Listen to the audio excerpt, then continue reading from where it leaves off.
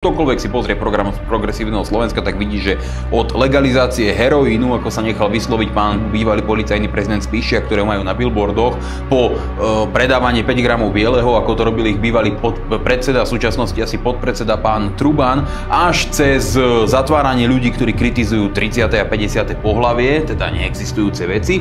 Ich politický program, no spomeňme ešte zníženie dôchodkov, lebo tým sa tiež netaja, ich politický program je normálna pohroma pre Slovensko. Slovensku. Je to ako potopa, je to ako mor, je to niečo strašné. Čiže na nás je tá úloha teraz dosť výrazne zabrať, aby sme tých mladých ľudí oslovili a hlavne, podľa môjho názoru, tou najefektívnejšou zbraňou bude na rovinu im povedať, čo sú progresívci zač.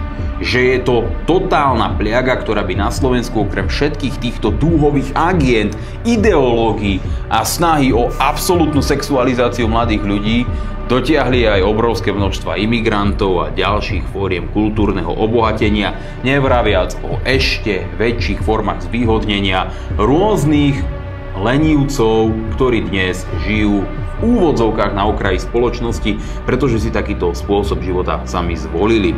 Napríklad niektorí, nehovorím, že všetci, to prizvukujem rôznym špecializovaným trestným súdcom, niektorí obyvateľia osád,